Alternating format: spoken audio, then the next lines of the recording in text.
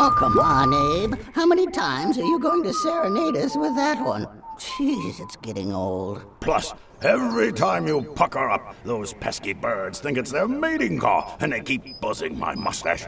All right, fellas. Woke up on the wrong side of the mountain today, did we? Now, a little birdie told me it's time to celebrate. It's American Education Week. Why, yes, this is a special occasion. I wouldn't have gone down in history as one of the greatest presidents of all time without my teachers guiding me in my youth. Excuse me, Tommy boy, but I believe we're all considered great presidents, hence our carved faces on the side of this mountain. Right. But did you know my educators inspired me so much I went to college at just 16? Yeah, well, I'm so great they put me on the dollar bill. That's nothing. I'm on the five. Well, I.